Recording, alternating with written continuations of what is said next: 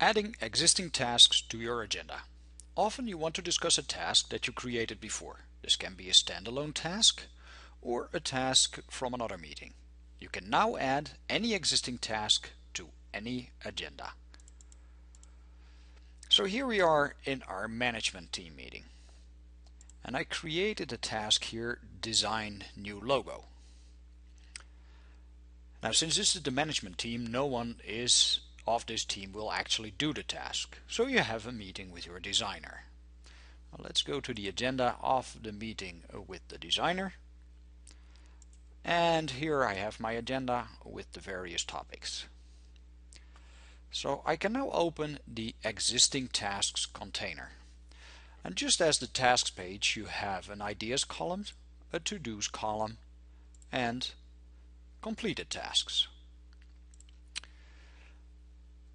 To make it a little bit easier to find your tasks, you can filter by project, department or tag or by contact. So let's say I want to know all the tasks that Jason has to do. I click on his name and now I only see those tasks that Jason has to do.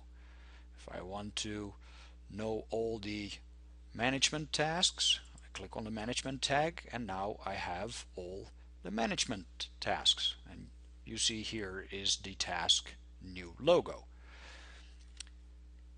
Now to add this task to your calendar, simply click it and drag it onto the agenda. One uh, note of caution, to add tasks to an agenda there needs to be a note, otherwise it will not save.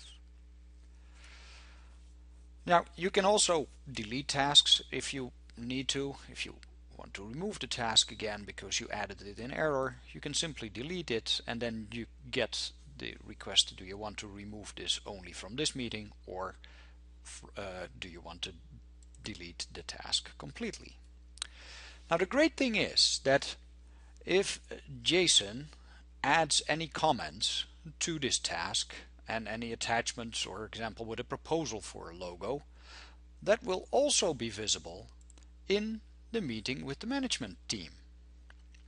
So this way everyone will automatically be in the loop without sending tons of emails.